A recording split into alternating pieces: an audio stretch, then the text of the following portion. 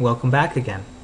To fully understand online writing, we need to look at the overall history of communication, the oral tradition, the print tradition, and then the mass electronic media tradition.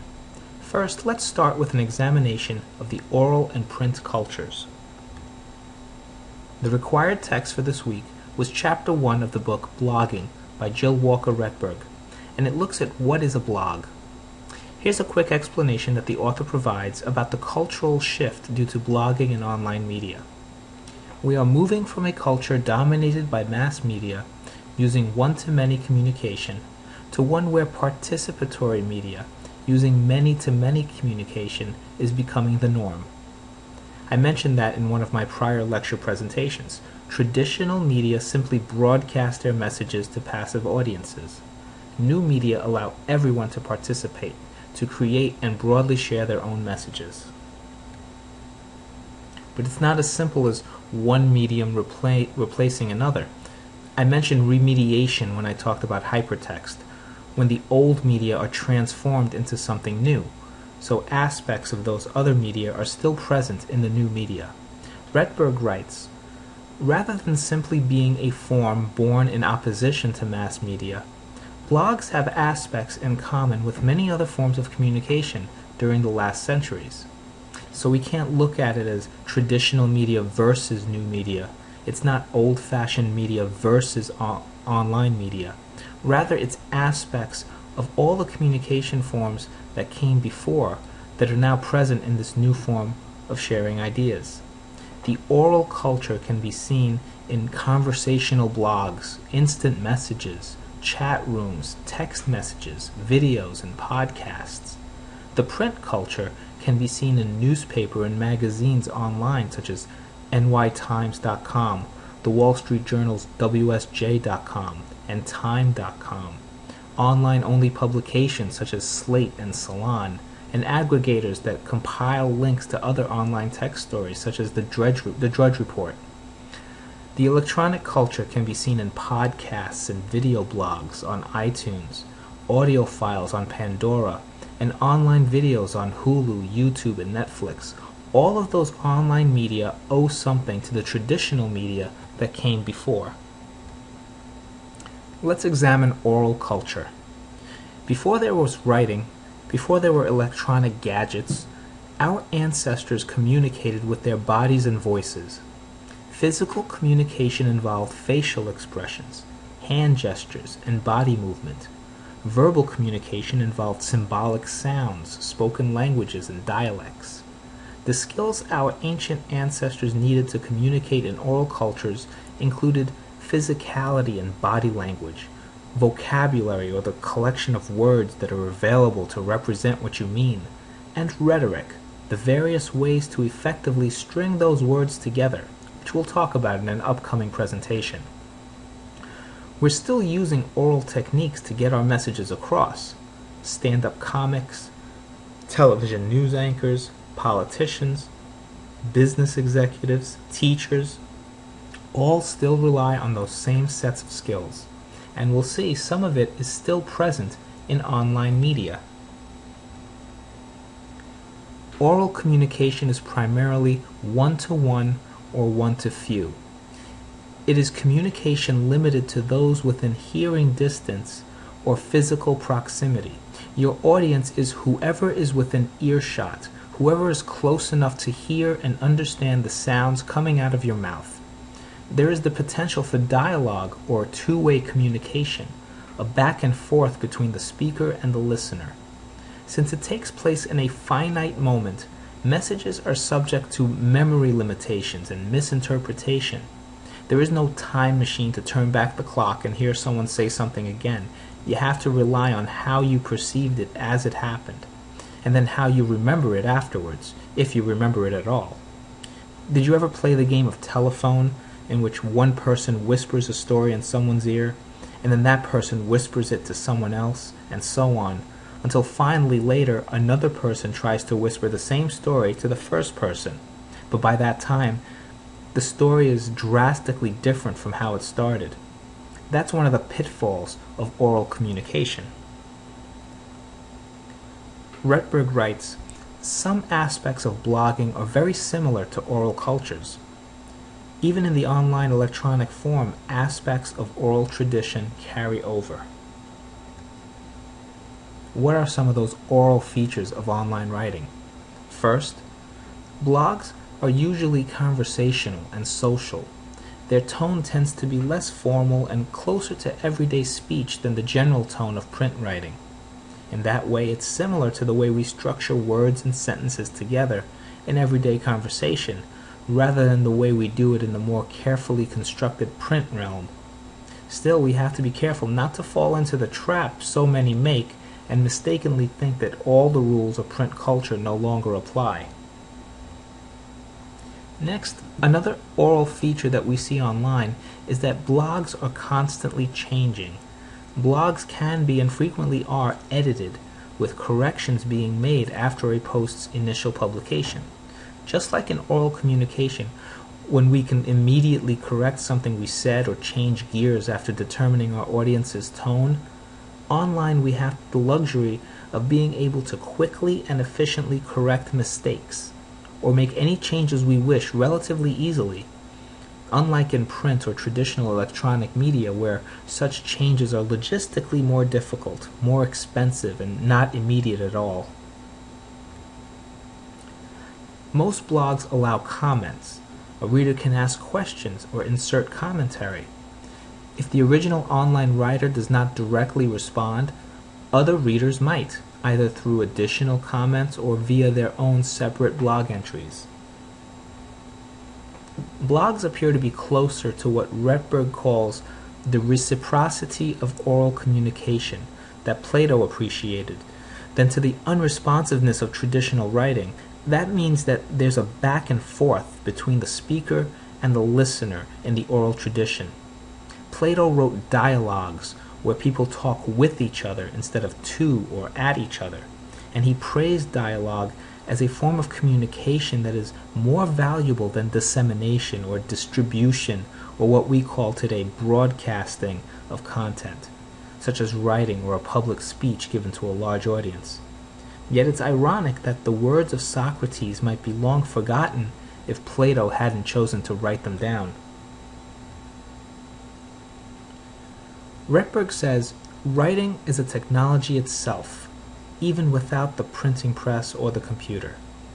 Writing changed communication.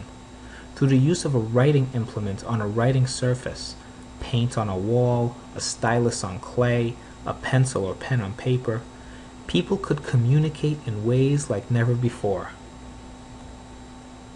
Writing allowed things not possible in oral traditions. What are those differences? The limitations of space and time are broken. You no longer need to be near someone to communicate with them. People can read your words on different continents or years later as long as they have a copy of a book in their hands with your words written on the pages. It has a sense of permanence. Every time you look at it, the words won't change, allowing the message to be repeatedly studied and analyzed. But there's one strength of oral communication that was lost in writing and later print. What is it? Oral communication has the potential for instant two way dialogue. Writing and print are only one way communication.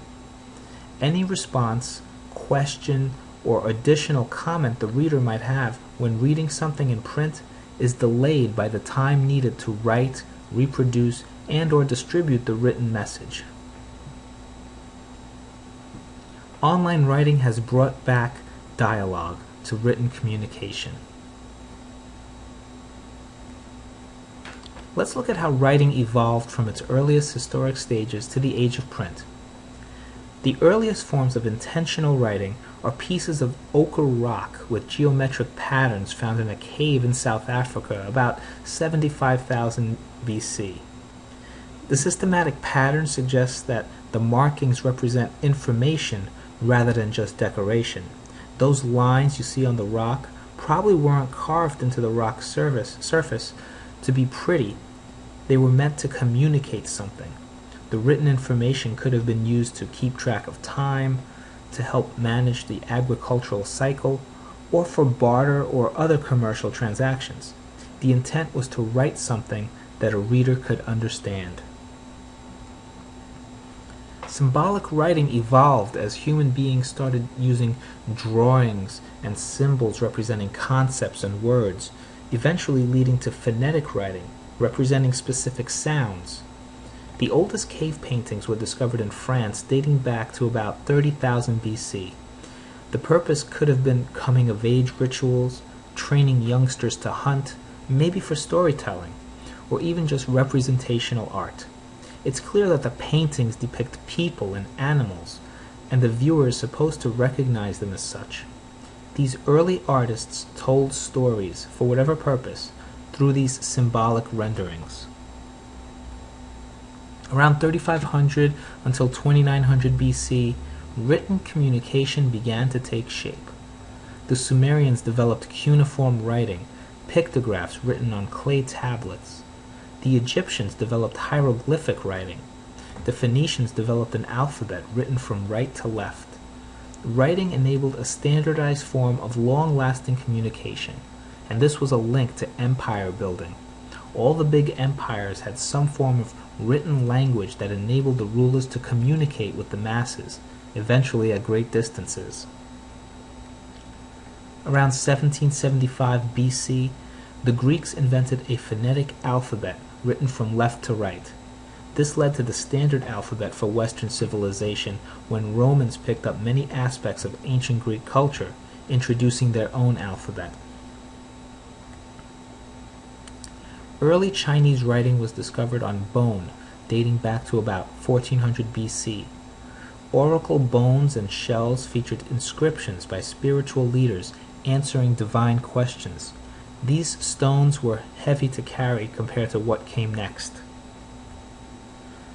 From 500 BC to 170 BC, papyrus rolls and early parchments made of dried reeds became the first known portable and light writing surfaces.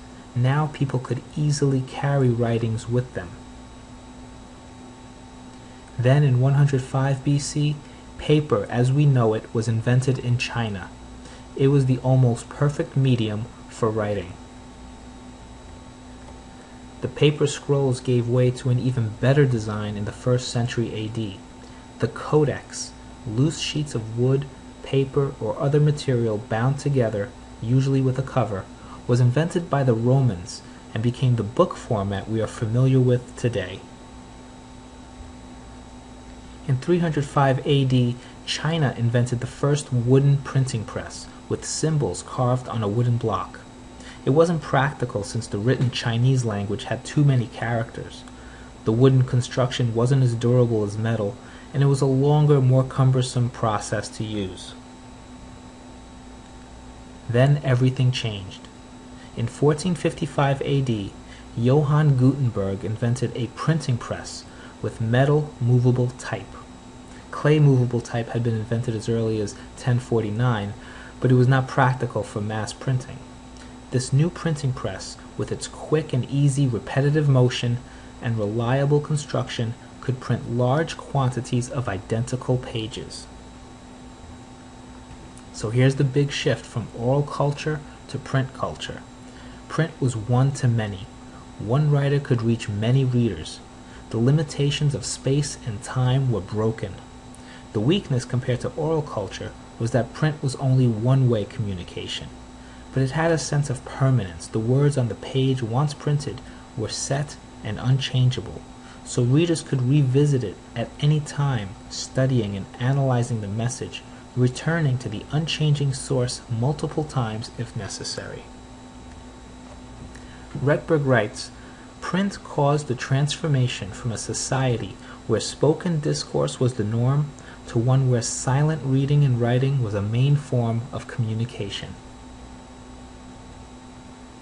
She continues, Perhaps the radical increase of dissemination was the most obvious feature of print. Texts were spread throughout the world on a scale never before seen. It is easy to see the parallels to the radical increase in access to texts that has become possible with the web. Suddenly, everybody was getting their hands on printed texts.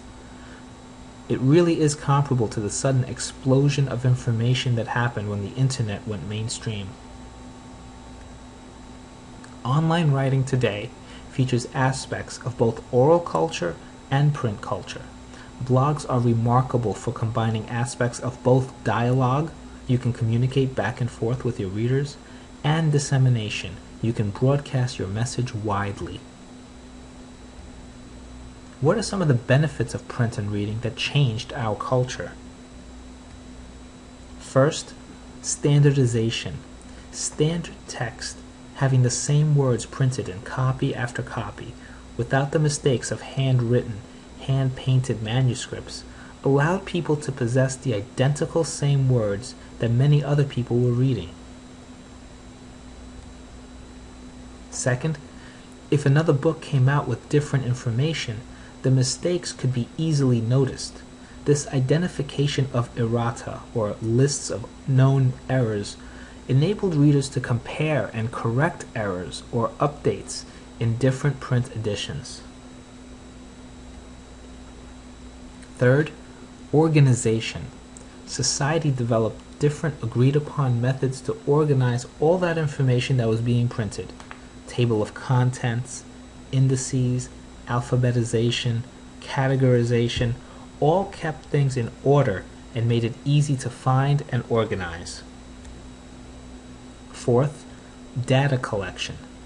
We can now compile various information and build upon the knowledge that came before, so civilization saw the quick expansion of the fields of science, history, and other studies. This led to an explosion in knowledge as readers and writers were able to add to prior discoveries and fill in the blanks without having to repeatedly reinvent the wheel. Fifth, preservation. Multiple copies were now possible instead of a few rare manuscripts that could easily be damaged or lost and hard to replace, so print enabled us to save books and the information in them for posterity. Lastly, amplification and the reinforcement of ideas. Ideas was suddenly magnified, subject to peer review.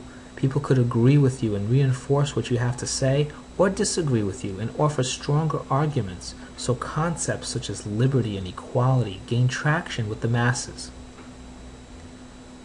So, those are the benefits of print communication that carried over to today standardization, identification of errors, organization, data collection, preservation, and the amplification and reinforcement of ideas. Rettberg mentions another deep way in which print influenced our culture in general and communication in particular is the increase in literacy that occurred with the greater access to books. Reading and then writing was no longer just a skill for the ruling class or the wealthy or the politically connected. Now everyone had the desire to be literate. So, what is literacy? Literacy is the ability to read. But literacy is also the ability to write. All people out there had the potential to learn to both read and write, to read the ideas of others, and to possibly write and share their own ideas. It was a major historic shift. Today, new kinds of literacy are developing as the general as the general population is acquiring new skills, the ability both to read and navigate the web and to publish its own words, images, videos, blogs, and other content. The new literacies have been called network literacy, multi-literacies, digital literacy, and secondary literacy. New literacy demands a new skill set. The most recent medium, the internet, is increasing the amount of reading and writing in which people engage, what Rettberg calls a form of textual practice. We've all heard how online writing is going to be the death of print, but writing is much more important to online communication than it was to some of the media that came before. In the 20th century, radio, movies, and television moved in upon print's territory, and people falsely predicted that it would mark the doom of print. It's a common idea that print privileges focused attention. It requires the reader to focus on the words and not be distracted, compared to broadcast media's channel surfing and the web's hypertextuality, which I talked about in my prior lecture presentation. Yet I argue that even traditional broadcast media require more focused attention than new media with its link following connectivity. When you channel surf before the days of the DVR, you lost what you skipped. But in cyberspace, you can hyperlink back and forth and still return to the original starting point. It offers you the power to choose your own path, unlike the straight linear structure of print, and yes, even movies, radio, and TV. Rettberg writes, As print became commonplace throughout the 16th century, a great shift occurred in our understanding of what literature and information was. When we learned to record and broadcast sound, and later moving pictures, sounds and images became governed by the same logic of its distribution and ownership as print had been. So print culture was in many ways very similar to the electronic culture that followed, except that the electronic age put a lot of focus and importance on image and audio how the subject matter appeared and sounded. This was the development of the idea of communication as a commodity, something that can be owned, bought, sold, and controlled. Print had a huge impact on other media thanks to that printing press that started it all. 1. It allowed for mass distribution. You could send your message practically anywhere in the world. Two, the uniformity, the sameness of printed material and later radio, movies, and television allowed for critical analysis. A reader could study and make judgments about what was being read. 3. People discovered that this all had commercial value. People would pay for a book, eventually for a magazine or newspaper. People would pay to advertise to reach those eyes and ears.